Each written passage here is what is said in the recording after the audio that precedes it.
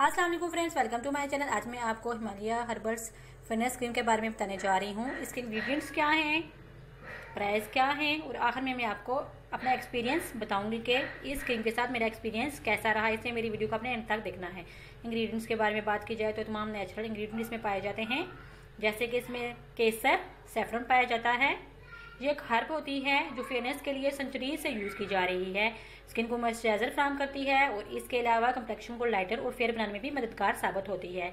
इसके अलावा इस क्रीम में अल्फाल्फा पाया जाता है। ये एक हर्ब होती है जिसमें वाइटामिन ए के और डी शामिल होते हैं। इसके अलावा कैल्शियम, आयरन, पोटेशियम और एसेंशियल एंजाइम्स इसमें पाए जाते हैं। फेयरनेस के लिए भी ये यूज़ की जाती है। इसके अलावा इसमें फाइटो वाइटामिन पाए जाते हैं। विटामिन बी थ्री और विटामिन ई e पाए जाते हैं। विटामिन ई e आपकी स्किन को अल्ट्रावायलेट रेज से प्रोटेक्ट करते हैं।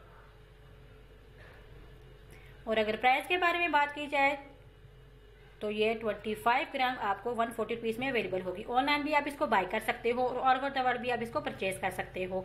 ये इंडिया का प्रोडक्ट है। एक्सपीरियंस के बारे में अगर बात की जाए तो मेरी स्किन चूँकि ऑयली है ये फेयर एंड लवली की तरह ही वर्क करती है। फेयरनेस के तौर पर यूज़ की जाती है।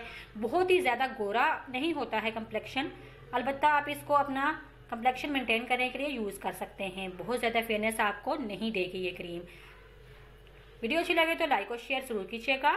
स्टेट यूनिट दस and keep watching our videos